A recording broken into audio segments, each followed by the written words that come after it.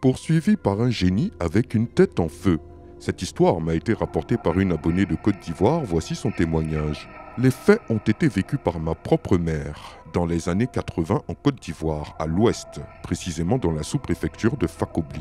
Étant adolescente, après les travaux champêtres, elle et ses amis avaient l'habitude de jouer jusqu'à tard dans la nuit. Et après, chacun rentrait chez soi. Un jour, après avoir fini de jouer, ma mère rentrait dans sa zone. Mais comme aucun enfant n'habitait vers chez elle, elle devait marcher seule jusqu'à la maison qui était assez loin. Ainsi, elle se mit en route. Après 20 minutes de marche, elle sentait comme une présence qui la suivait. Elle se retourne et dans un premier temps ne voit personne. Elle continue son chemin. Puis, elle ressent encore la même sensation d'une présence derrière elle. Elle se retourne à nouveau et là, elle voit un être étrange. Il avait le corps d'un être humain, mais sa tête était entourée d'un feu, d'une lueur intense. On arrivait à peine à distinguer les traits de son visage. Ma mère, pris de panique, commença à courir, et la chose la poursuivit. Fatiguée, elle s'arrêta un moment pour voir si elle avait semé le génie de feu. Mais celui-ci était toujours derrière elle, à la même distance,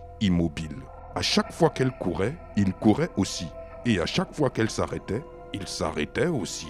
Ma mère se souvint alors de conseils que lui avait donnés son père si elle croisait un esprit de ce genre. Elle a commencé à parler en langue wobé au génie.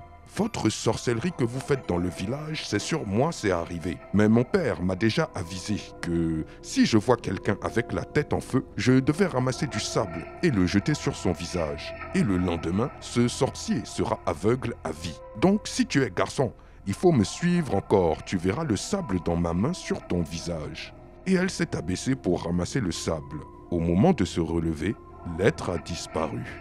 Elle n'a pas cherché à comprendre et elle a commencé à courir à toute vitesse sans regarder derrière. Heureusement, elle est arrivée à la maison saine et sauve.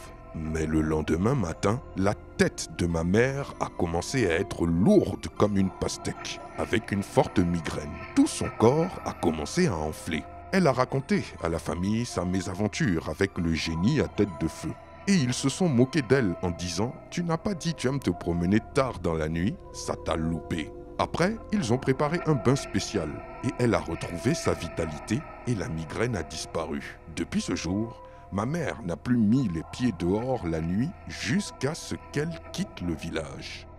Waouh, quelle aventure mystique et effrayante. Mes abonnés de l'ouest de la Côte d'Ivoire, avez-vous déjà entendu parler de ce génie à tête de feu? J'attends vos réponses dans les commentaires. Quant à mes autres abonnés, dites-moi aussi ce que vous en pensez. Je vous dis à très bientôt pour une nouvelle vidéo. C'était Takashi J, numéro 1 sur les histoires mystiques de l'Afrique.